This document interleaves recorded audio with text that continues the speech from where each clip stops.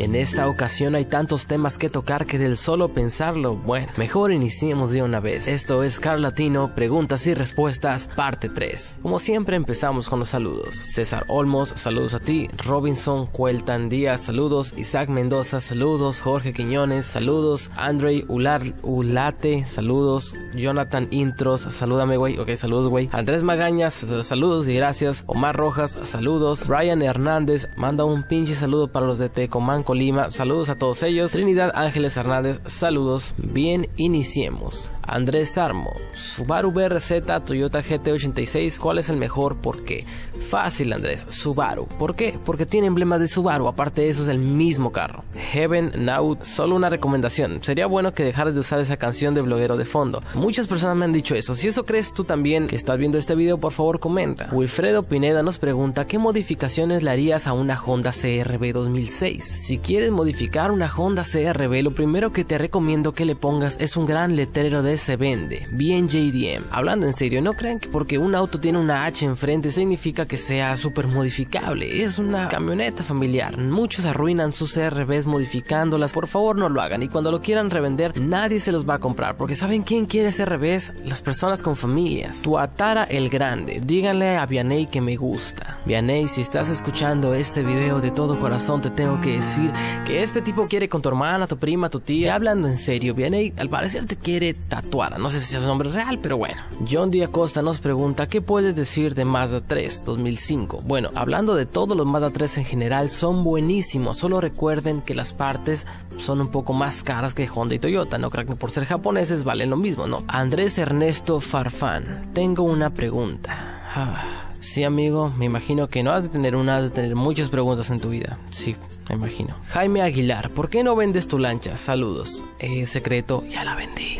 Sword nos pregunta, ¿qué auto tienes? Amigo, me complace anunciar que vendí mi lancha. Y el auto que compré será el tema de mi primer video blog próximamente. Jocelyn Pérez pregunta, ¿qué opinas de Top Gear? ¿Y te gustaría que hubiera un Top Gear latino? Mm, no, me gustaría que hubiera un Cars latino al nivel y presupuesto de Top Gear. Rafa Rodríguez, Lulú Méndez y Jesús M todos me preguntan por qué el nombre Cars latino. Bueno, Cars que significa carros obviamente y latino que suena como un canal en inglés traducido al español y esa es más o menos la idea que tengo con este canal. Hay muchísima información, reportajes, videos y más cosas que nunca se traducen al español. Así que básicamente esa es la función de Car Latino, destrozar la barrera del idioma y hacer que aquella información que nunca llegó a español llegue. Guío García nos pregunta, ¿a qué edad aprendiste a manejar automático estándar? ¿Alguna vez has chocado? Creo que fue como a los 15, una de mis primeras primeras experiencias de manejo fue en un Mustang 5.0 modificado que se apagaba cada rato, así que no fue la experiencia más normal del mundo para aprender a manejar, sobre todo porque golpeé a un tipo en bici y se que se cayera, sí he chocado, un taxi se me atravesó y pues posa. Y también uno que otro cerco por ahí, pero bueno. Mario Daniel Reyes Sánchez, Carlatino, mis preguntas son, ¿me aconsejas comprar un coche de Estados Unidos importado? Es que vi una página de Facebook de venta de autos en Tijuana. No, no, no, no, no, no, no, a ver, para, para ahí. Si quieres vivir experiencias únicas en la vida, por ejemplo, el fraude. Claro, amigo, claro, compra estos automóviles. Ya hablando en serio, puedes comprar automóviles de otra ciudad, pero que tú puedas ir a esa ciudad a verlos. Estamos en México, señores, los fraudes son muy comunes y para acabar elegiste la ciudad experta en fraudes. Que aunque tú vayas a ver el auto en persona, papeles y todo, oh Dios, papeles clonados, pedimentos de importación falsos, etc. Daniel Plaza, ¿qué opinas de un Cobalt 2010? Que van a decir, GM va a empezar a hablar mal, ¿verdad? La verdad es que yo tuve un Cobalt 2009 y fue uno de los autos en los que andabas más a gusto y sin problemas que he tenido. Básicamente se maneja sola esa cosa. Es económico en gasolina, a mí no me dio un solo problema y el servicio que recibí en la agencia del Centro California fue increíble. 95 Doomer, creo que así se pronuncia, ¿verdad? Bueno, te faltó el motor más poderoso, el que puede mover hasta la montaña más pesada, el amor.